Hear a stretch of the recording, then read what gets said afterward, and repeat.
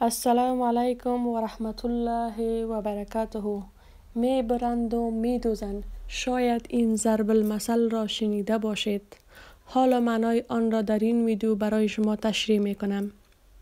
محصلین ما بیچاره تا این حد شدند که یک شعار نوشته نمی توانند بلکه شعاری که در دستشان داده می شود آن را بلند می کنند.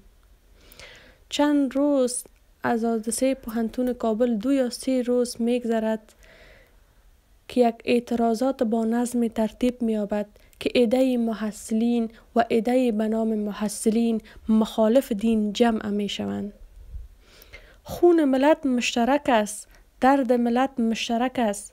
اگر محصل قربانی می شود ما صدا بلند می کنیم برای ششق می ریزیم اگر خبرنگار قربانی می شود ما صدا بلند می کنیم اما اینها چرا عقل ندارند؟ محصلین ما درست آلت روحی و روانیشان را حادثه خراب ساخته بود. اما بر این حد نه که بر ضد الله جل جلاله استاد شوند. در شعارشان ببینید علامه دکل که علامه مسلمان نیست.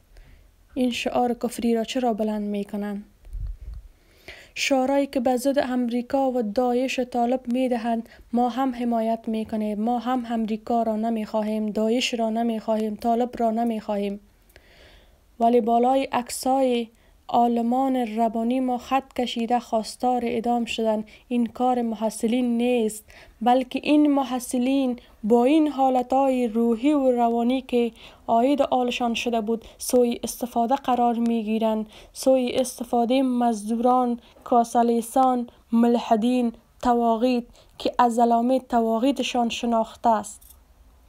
و میآیند بر ضد دین و عالم دین شریعت استاده می شوند خب معلوم شد حمله کننده امین ملحدین مزدوران بودند که باز با حمله می خواستند دین و عالم دین را بدنام کنند. در حالی که در اسلام عزیز بزرگترین گناه پس از کفر ریختن خون ناحق است که اگر گناه می توانست از کفر پیشی بگیرد آن گناه قتل بود. همه علما داد زدن صدا بلند کردن. همه گوش شنوای کجاست؟ کدام عالم موتر زری بادیگارد؟ خانه های ده منزله و هشت منزله دارد. که هم دست طالب و دایش باشد. هم دست امریکا باشد. عجب مردم بیسوادی داریم که داد از سواد می‌زنند حمله بر وارثین انبیا می‌کنند حمله بر راه و روش پیامبر اکرم صلی الله علیه و سلم می‌کنند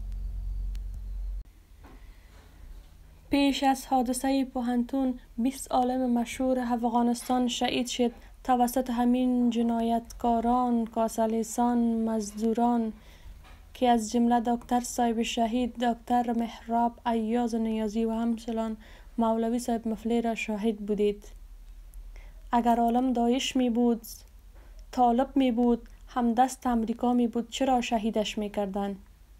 امین علمایی را که شما در شعارایتان نوشته کردین که اعدام شود امی علما چند مدتی را در زندان سپری کردند اگر اینها دایش طالب و امدست امریکا می بودند چرا زندانی می شدن؟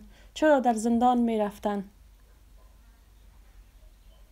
پس بدانید حالا پلان امی مزدورای کردل تغییر کرده است که می‌خواهند نسلهای آینده را انتحار کنند انفجار کنند تا حالتهای روحی و روانیشان نیز ضعیف شود و به نام دین و عالم دین ختم کنند.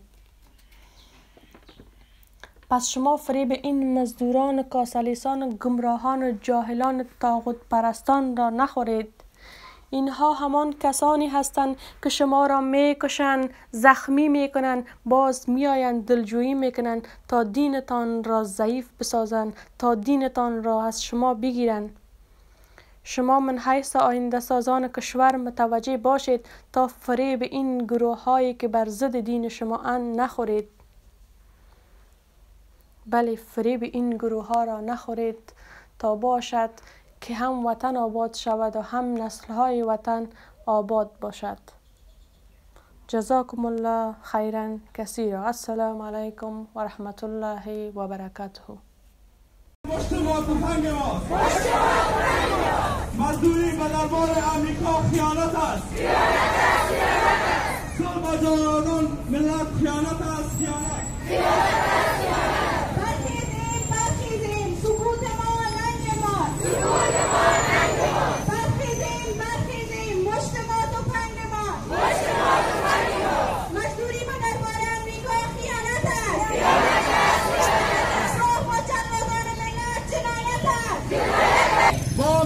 و مبارزه انتقام خون جوانان خود را می‌گیریم می‌گیریم می‌گیریم معاملهگری با خون شرف مردم خیانت است. خیانت است خیانت است. نفرین مرگ به حکومت معاملهگر غنی. فریبکاری به نام صلح رضالت است. رسالت است رسالت است. ناز دادن قاتلان و خیانت است. خیانت است خیانت است. سرخمی به آیسای قباحت است. قباحت است قباحت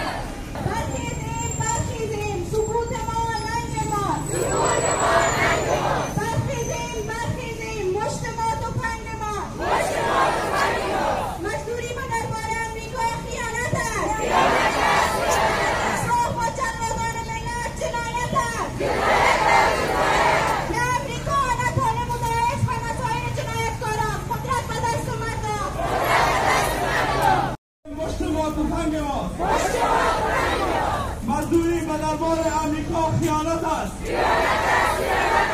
صلح با جوانان ملت خیانت